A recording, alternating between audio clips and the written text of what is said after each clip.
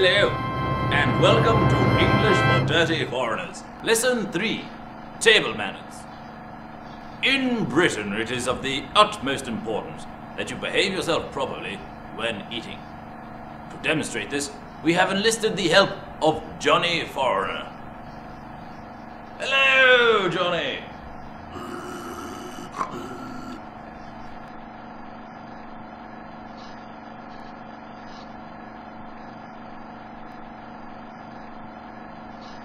Hello, Your host, Loomis Red Light Green Light Go, and welcome to the third and final of this still very relevant and much watched quiz show.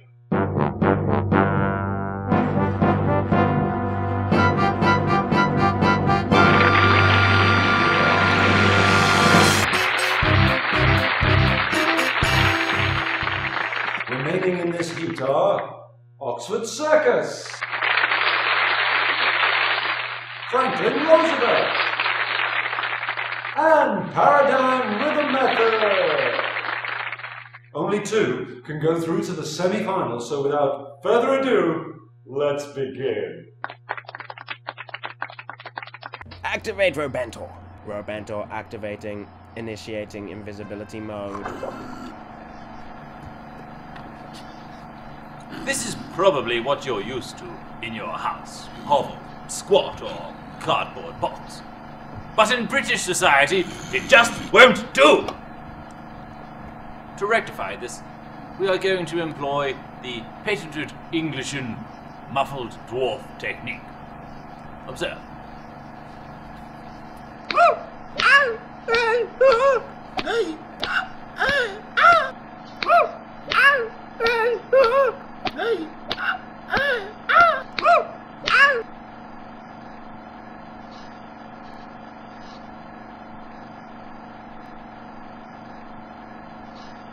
Loose the question sparrow. The first question in this third and final is what letter is behind the curtain?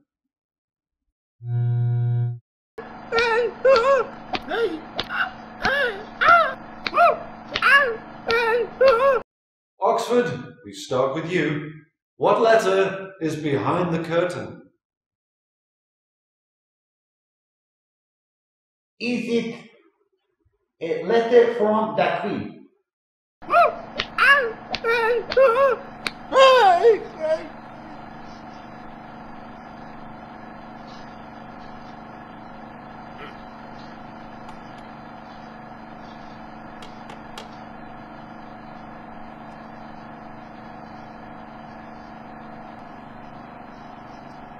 So, proper table manners are achieved.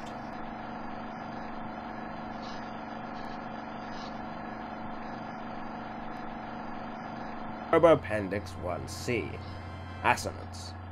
Of all the linguistic techniques in all the languages, you had to walk into mine. The concept of assonance is by far the most complex, illogical, parathentical, and erotic of all. Assonance is, to be straightforward, direct, and perfectly clear, the science of words not only acting as descriptive, understated anthropomorphic tadpoles in the great river of life that travels downstream and joins the sea of pure communication, but it is also the wistful, blissful ignorance one has when they, for the first time, discover the joys of the true harmonic resonance with the gravitational pull of the English language.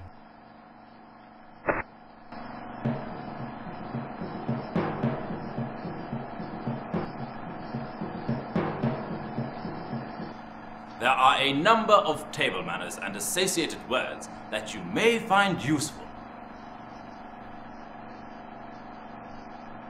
I cut with my knife. Knife.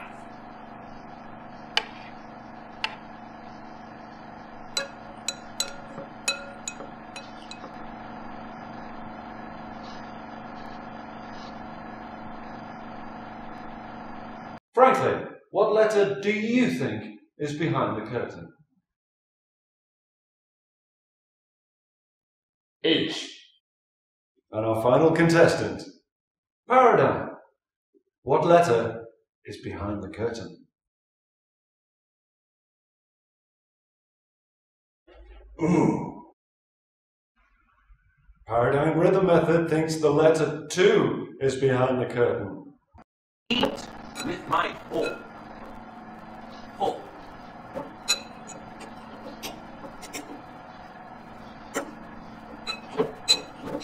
I wipe my mouth with a napkin. Napkin.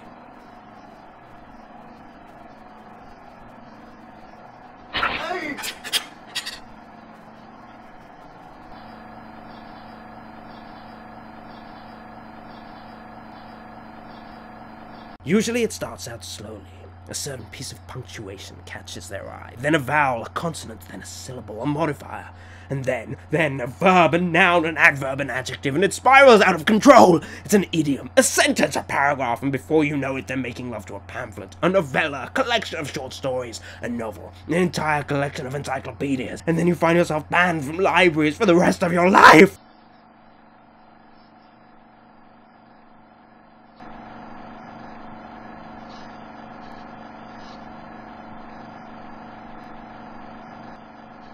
The napkin is on the floor. Floor. Pick up the napkin. Bitch. Bitch.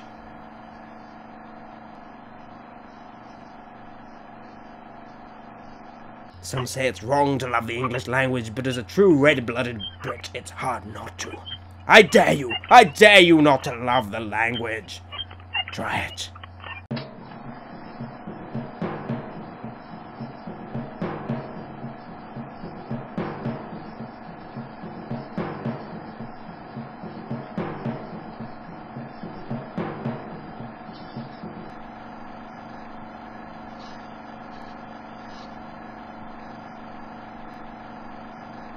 As intrinsic as food is to the British culture, so is the toilet as importational.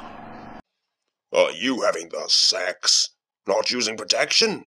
Worried about pregnancy? Then you need impotence! Featuring our secret patent pending formula. Impotence for not kids. Impotence is not recommended for those considering having a baby. Impotence is not guaranteed and is not associated with any medical practitioners anywhere. Apart from this guy. Pukas! Puta ka malina! Puta te malakar ka! Putas! Putas! Ano ka madari mala? Pusta ka puta puka dadolo! Don't be shy. Say hello. Oh my! Porque! Oh, ka puka nere! Puka de! Oh,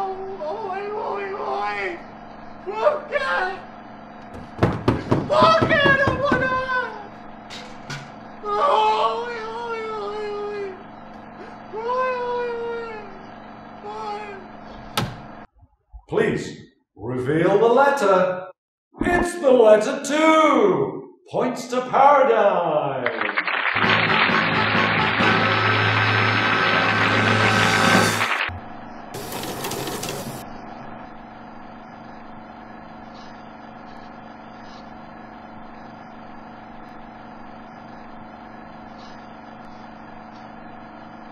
I'm sure as foreigners you are used to sleeping in close quarters with 50 to 60 of you sharing a bed. Now you should count yourself lucky. You get a bed all to yourself. Work well, and you may even get a mattress.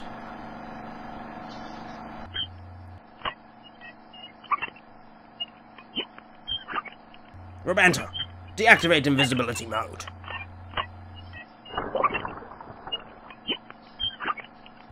Robanto, stop that!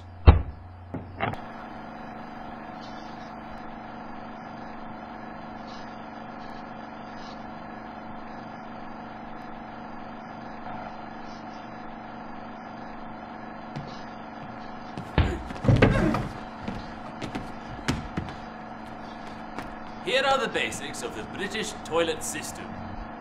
Urinate here. Defecate here. And always, always remember to pull the chain.